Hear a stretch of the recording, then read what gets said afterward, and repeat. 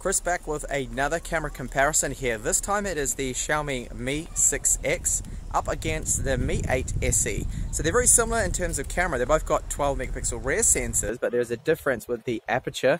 Front facing cameras are both 20 megapixels as well, but another difference there with the lens. So in this comparison, like my others, I will be doing it side by side. I will swap the audio sources as well between the two phones here so you can compare and really gauge which one has the best audio with video, low light performance, and both the front and rear cameras. Front cameras now in low light and they're both looking very similar here. A little bit of a difference in the colors that I can see looking at the screens and that's probably just between the IPS and AMOLED panel here. Both have a little bit of noise. Both not really wonderful, but I do have a bright light on that's illuminating my face here. So if I just step into the shadow, um, we can get a real look here at the quality of both of them. So lots of noise, lots of grain as expected in these conditions.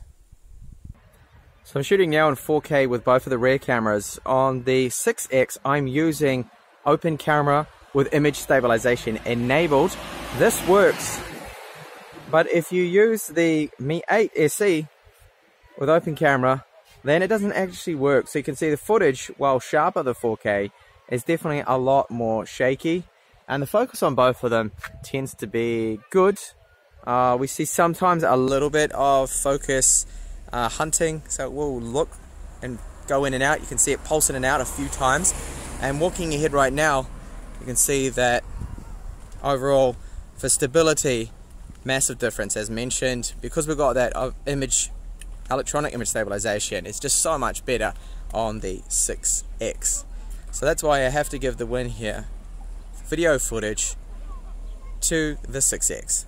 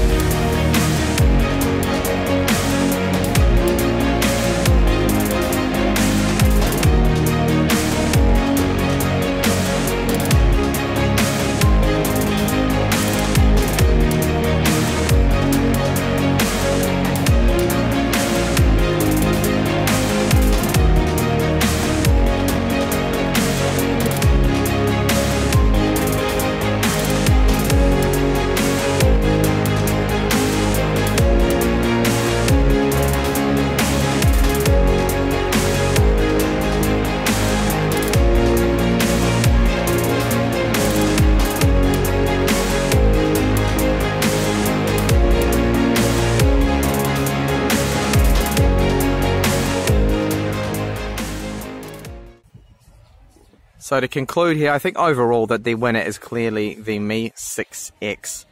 Better low light photography, less noise, less grain, and because we do have access to at least the gyro with applications like open camera, we get the current video you're looking at now, so it's much smoother and overall it's just a lot usable. Now it may crop in a little bit more and it may be uh, not as sharp, but I believe that that's just overall the better quality.